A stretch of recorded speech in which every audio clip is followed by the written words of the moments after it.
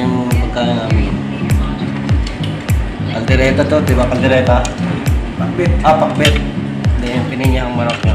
Shit, look.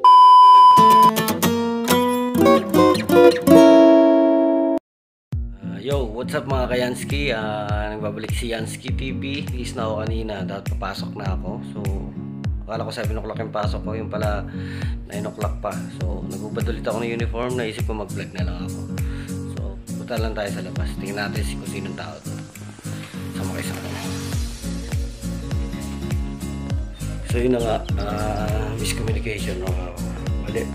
Hindi ako naman binasabihan na 9 o'clock pa pala ako papasok. So naghintay na ako sa labas. Hinanap ko yung driver, wala siya doon. So ginawa ko, bumalik na lang ako. Tumawag ako sa trabaho. Sabi na mga 9 o'clock pa daw papasok. So bumalik ako, pupunta ako uniform. Vlog na lang ako. Dito tayo sa aming bahay, munting bahay. Ay, may tao dito. Si, ang ating kapatid na si... Paano masabi? Mga pala tol?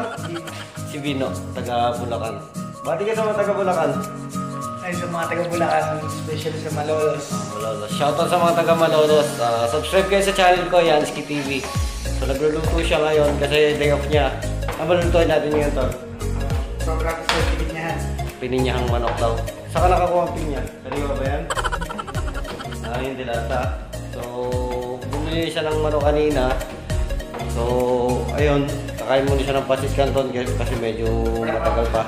Warm up muna yung chan niya. Parang walang flavor to. Plain ba to? Walang halo ah. Paano masabi? Ah, spicy daw. Pasit canton na lang. Walang wala na kami ngayon. Wala sa ako dyan. Wala pa. Ubus na ubus na. Ubus na pati pato. So mamaya titikman natin yung niluto niyang pininyahang manok. Babalikan natin si kapatid na Alvin from Malolos. Shoutout sa mga taga Malolos. So yun nga, ah, tulad na sabi ko, walang wala na kami. ah. Ubus na. Laman ulit. Baunan na lang. Saan ang iyong puso?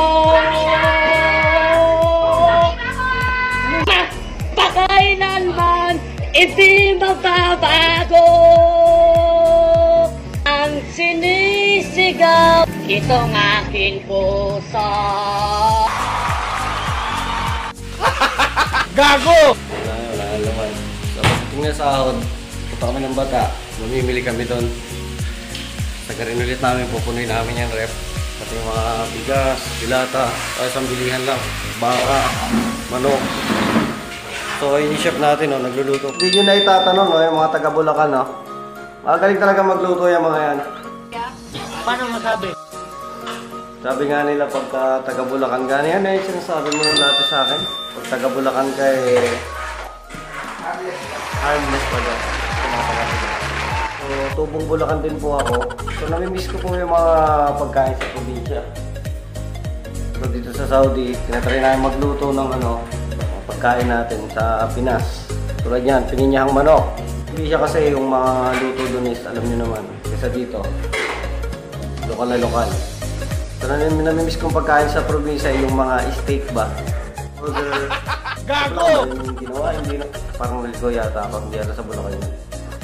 Balikan na lang natin si kapatid na Alvin mamaya. Natin start ko para makapag-focus sa pininyang manok niya. A few inches later. So ito na nga, ano, nakatulog ako. Buti ginising ako ni Pino. Ito na yung ano niya. Ito na yung pagkain namin. Kaldereta to, di ba kaldereta? Pakbit. Ah, pakbet. Hindi yung pininya. Paano masabi? Pininya ang manok niya. Shit, lokal na lokal, parang nasa Pinas lang. Tikman natin yan. Husgahan natin yung pininya ang manok niya.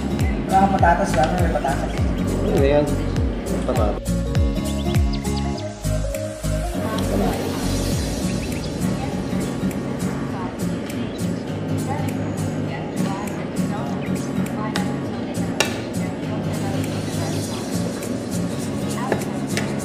Pasok, Jeff, stop. Hindi na magkatawa. Oo. Lasang manok na may pinya. Lalo, pinya ang manok nga. Eh baka. Kaya mo na kami.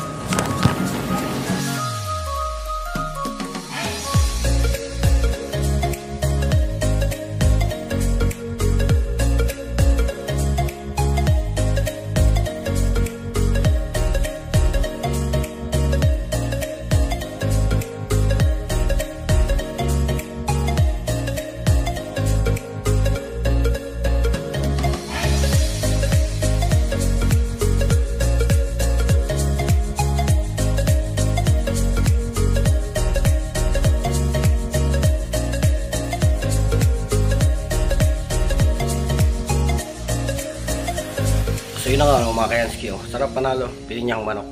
Hindi magluto si Bino. Chef namin dito yan. Ah, busog ako. So, yun na nga, mga kayanski. Ah, dito ko na tapos itong vlog nito. Busog ako, sorry. Sarap. So, kailangan ko ng Djibouti. Dito ko na tapos itong vlog nito. Okay? Uh, don't forget to subscribe on my uh, channel, Yansky TV. So, yun na nga, no. Salamat sa panonood. See you next, see you on my next vlog. Super ka. See you my next vlog. Paalam.